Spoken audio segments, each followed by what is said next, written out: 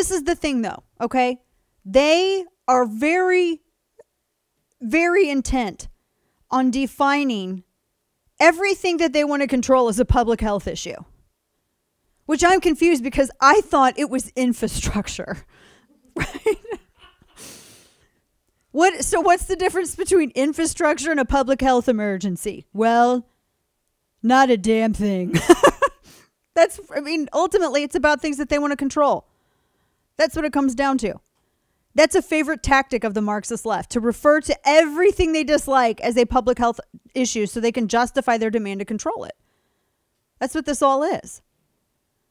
Now, there's not an issue with an inanimate object that is illegally carried and used in the commission of a felony. And a mental health issue is quite different from the discussion, the argument that we're, the debate that we're having over firearm law.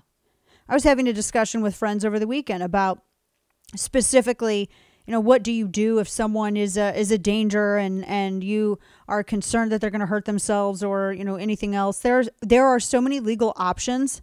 Here's the and this and that's one of the reasons I was telling a friend of mine. This is why I don't I never liked the red flag or, or, or ERPO, which is the extreme risk protection order, because you know civil commitments. You know, while they're not perfect, they do more to protect due process and actually look at the cause of what's happening than red flags do.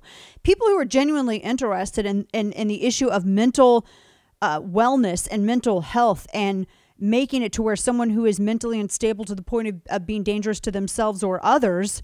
Uh, those individuals you don't solve that issue or address it with a red flag which does which only focuses on guns it does not focus on mental health or anything there's no mental health evaluation there is nothing whereas something like a civil commitment you have to it first off it has to come by way of people who are uh, uh, credibly acquainted with your mental health issue or with you it can't just be any tom dick or harry who's going to revenge report you and you actually get due process. You get to talk to a judge. You get a mental evaluation by a trained professional.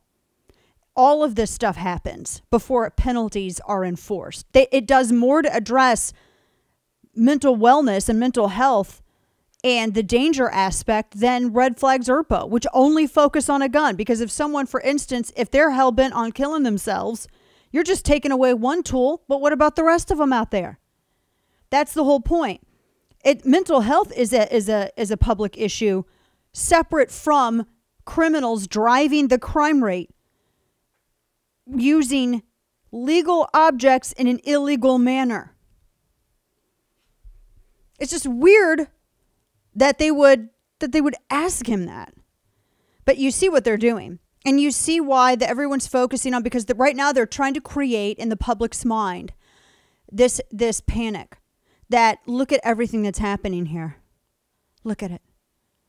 Very dangerous stuff. This is a public health issue.